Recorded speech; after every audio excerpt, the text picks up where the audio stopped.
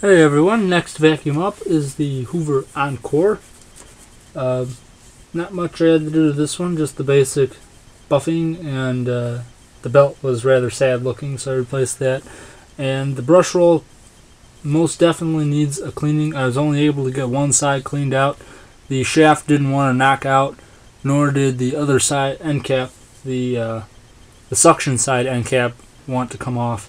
So I only got the belt side cleaned off, and the brush roll needed a, a decent cleaning. There was some junk in it. Um, got a bag in it. If it didn't have a bag, I couldn't run it because I don't have any Type A's. Um, other than that, it's cool, runs good. As I said, would run a little smoother with a cleaned out brush roll, a fully cleaned out brush roll, but runs good enough for me. Um, now I'll bring this up now as a, a topic for a quick discussion because this is going to have to be done within the next two days.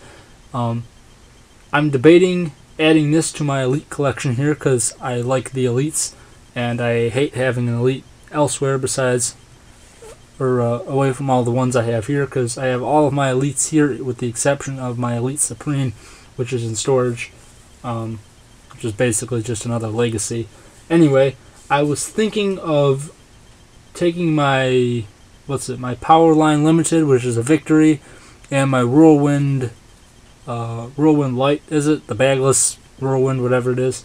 Um, putting those two in storage and filling them with um, most likely the Elite 600 and this, or possibly something else um, from the collection he gave me.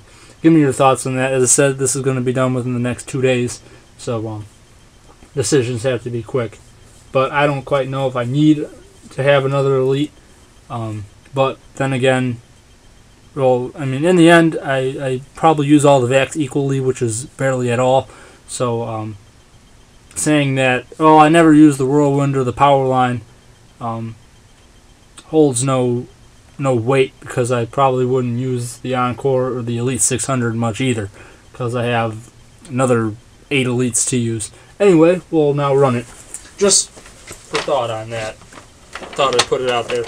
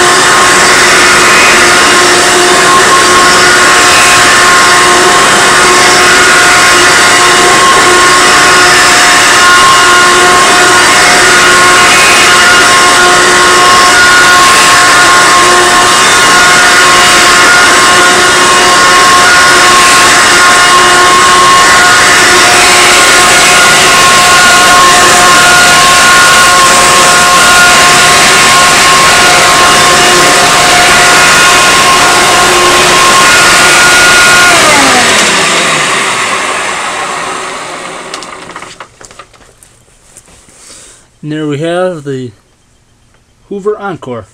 Up next will possibly be the Elite 600. Don't know if I'm going to get to that. Um, it's nearing the time where I'm out of time. But hope you enjoy what you've gotten to see so far.